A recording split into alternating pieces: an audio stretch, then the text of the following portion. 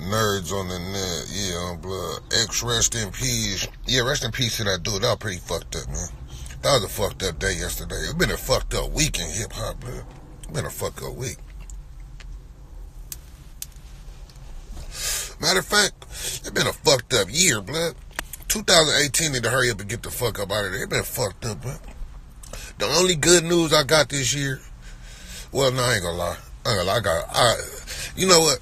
It been fucked up year for everybody. I ain't gonna, I cannot lie. I cannot sit here and say it been a fucked up year for me. It, it actually 2000, 2018 has actually been one of the best years of my life, actually. But I mean, like, as far as hip hop is concerned, as far as hip hop concerned, yeah, it's been a bad year. Shit been a bad year. But for me, I ain't gonna lie. I, I, you know, I'm blessed. I'm wonderfully blessed. I'm feeling good. I'm doing good. I'm good. Like you feel me? I ain't got nothing to complain about. Except these fucking biters and swagger jackers. That's the only thing. You biters and swagger jackers on my dick. God damn.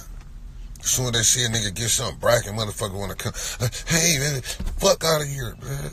Shit.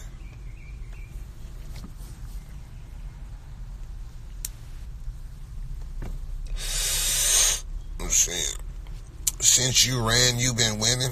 Who I run from? I ain't never ran from nobody. Who I ever run from? Like, how did I run? Shut your bitch ass up, nigga. Who I run from, bro? You sound like a bitch saying that. Since you ran, you been ran from who, bro? Where a nigga at I ran from?